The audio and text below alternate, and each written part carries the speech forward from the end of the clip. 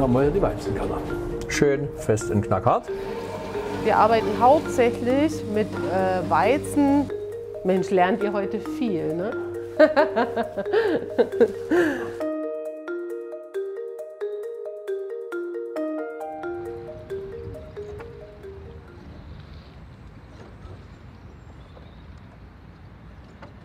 Seit etwas über 200 Jahren gibt es hier in Marzahn eine Mühle. So, und ich bin nun in dieser langen äh, Reihe der elfte Müller auf der vierten Mühle am dritten Standort. Diese Mühle hier gibt es jetzt seit knapp 24 Jahren. Sie wurde durch holländische Mühlenbauer im Auftrag des Landes Berlin errichtet, als Teil des Ensembles Dorf Marzahn. Und hier sehen wir jetzt eben das, den schematischen Aufbau unserer jetzigen Mühlenausrüstung. Schrotgang, Siebenmaschine, Trichter, Säcke. Hier oben haben wir die Antriebswelle, die Flügelwelle mit dem großen Kammrad, Getriebe und Bremse. Die Flügel, die eben den Motor, den Windmotor darstellen. Und so ist ja, ist ja jede Maschine dieser Welt aufgebaut. Ne? Motor, Getriebe, Werkzeug, hier der Schrotgang.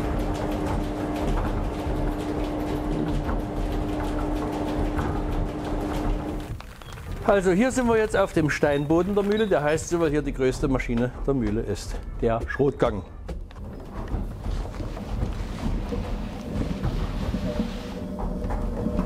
Jetzt werden wir merken, dass bei der geringen Geschwindigkeit die Mühle anfängt zu bremsen, weil das jetzt natürlich richtig Kraft zieht, was wir hier machen.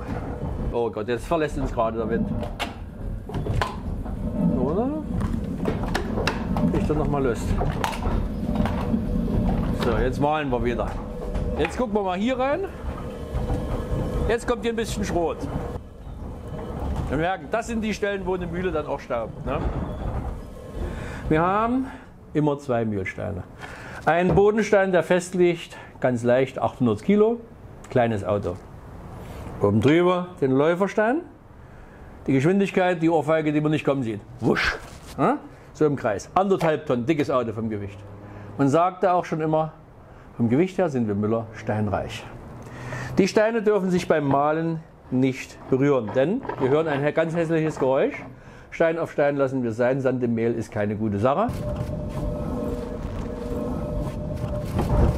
Wir sehen hier den Läuferstein, dessen Rücken sich dreht. Wenn wir jetzt mal hier runter gucken, gucken Sie mal hier von oben rein. Bloß nicht mit dem Kopf nach oben stoßen. Dann sehen Sie hier den, den schmalen Spalt zwischen Läuferstein und Bütte, das ist das Gehäuse. Da sammelt sich das Malgut und an der Stelle fällt es dann runter in die darunter liegende Siebmaschine.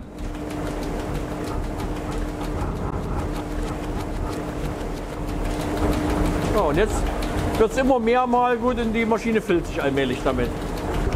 Hier, diese Förderschnecke sammelt jetzt das Mehl und bringt es hier raus zum Auslauf. Ja?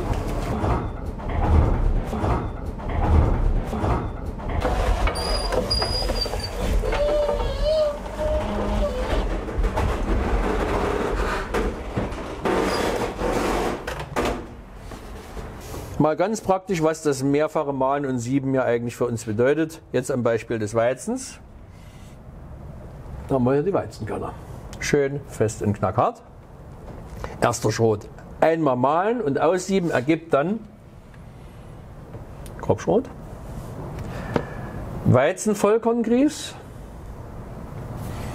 und Mehl. Hier ein relativ feines Mehl für unsere Zwecke nochmal den Unterschied zwischen Vollkorn und Nicht-Vollkorn klar zu zeigen. Die Weizenmühle stellt also, das hat sich also äh, produktionsbedingt entwickelt, zunächst den Vollkorngrieß, der, wie ich ihn auch mache, mit Mehlkörper, Schale und Keimlingen. Den drei Bestandteilen einer jeden Getreidesorte. So und putzt ihn dann. Da ist auch keine Chemie drin, sondern schnell durch, äh, mit äh, schnell schwingenden, durchlüfteten Siebmaschinen wird dann der schwere, mehlkörperhaltige Grieß herausgezogen. Und dieser Speisegrieß, den nehmen wir entweder von Grießbrei oder aber er wird weiter vermahlen fürs ganz feine Mehl, eben für dieses Auszugsmehl. Ja? Man darf ja gar nicht mehr die Mühle als selbst in großem Maße agierenden, also wirtschaftlich oder netzwerkmäßig agierenden Betrieb verstehen. Die heutige Mühle, auch wenn da heißt äh, Schüttmühle GmbH Berlin oder sonst was, das sind doch Tochterbetriebe, Produktionsstätten für global agierende Weltkonzerne. Das, so muss man es doch sehen. Die Wertschöpfung an der Müllerei ist nämlich selbst nicht mehr allzu hoch. Dadurch, dass wir schon so lange technisiert sind. Wir sind seit über 100 Jahren das globale Wirtschaften gewöhnt. Es ist ja nicht so, dass das Mehl verkauft wird. Wissen Sie, ähm, Mehl ist, ist nicht gut global zu transportieren. Getreide dagegen umso mehr ist auch gut lagerfähig mit geringem Energieaufwand und so weiter. Ja. Deswegen war, war, der Umgang mit Getreide immer schon eine gesellschaftlich hochrelevante und zuweilen brisante Sache, politisch also richtig auch. Ja. Zum anderen aber auch aber über die Produkte, die man aus dem Mehl dann macht. Wer auf meine Mühle kommt, ist mein Freund. Das ist so eine Grundüberzeugung, die ich mit dem Beruf äh, teile.